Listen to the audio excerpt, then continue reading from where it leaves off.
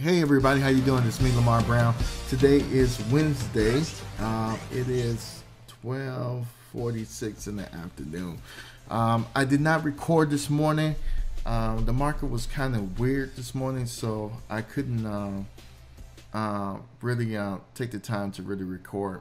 Uh, plus, I got the kids home today, so um, but anyway, I do want to do this quick video because um, I know a lot of you guys been hearing this news about the markets. Uh, some of you 401ks probably got hit pretty hard for the last past three weeks. Uh, and I just want to kind of explain something to you about the markets, um, uh, especially today. Um, the financial market's been taking this crazy dive, right? It's been doing this crazy dive.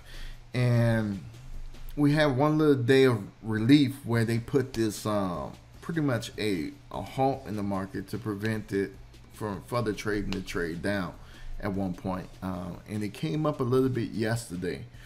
And all of a sudden, I'm going to show you here, we took another dive today. And I want to show you this. Um, 6, 6, 630. Okay. So right around here, is the time frame I really spent a lot of my time trading. And you can see that cluster looks insanely um, horrible to trade. Okay, insanely horrible to trade. Um, but we was able to get on top. You can see that on the demo, uh, I did like 1500, almost 1600 today on the demo uh, on simulation. Um, um, but on my live account, um, I was able to come out on top as well.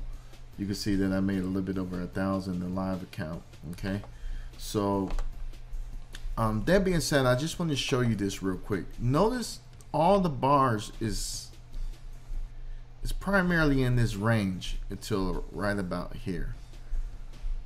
Um, these markets are really difficult for most traders, but you gotta identify if you're trading in the range. That's why I like the coffee and profit pivot points uh, because they really help me engage uh, into the market and kind of see exactly the levels the market is playing into. Okay, um, but um, I also want to show you this too. Notice that the markets is in a constant downtrend. So the only trades that we should have been interested in today is trades going down, right? So you can see that even if the market is going down, I'm still able to make profit. Okay, people 401ks can't, uh, or 403bs you can't because you only make money on the upside. Okay, when it goes down, your account goes down. Okay, along with the market.